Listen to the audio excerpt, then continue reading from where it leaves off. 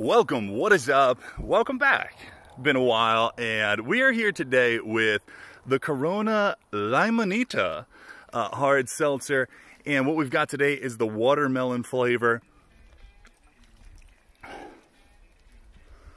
Off the bat, I'm liking this. There is a chemical element uh, for sure because we're working with 4.5% uh, alcohol and it is 1% juice on this one. So as we always talk about, if the flavor's not coming from juice, where's it coming from? Probably some weird chemical and you taste it here. But if you know me at all, you know that I don't mind that when it comes to watermelon flavored things.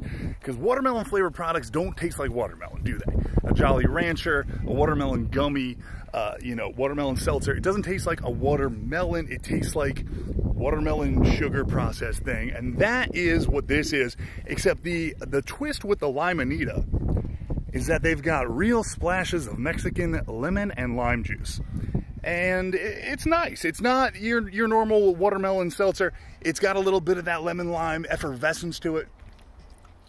Oh, yeah. Oh. I'm liking it the more I drink it. I think you should have five or 10 of these.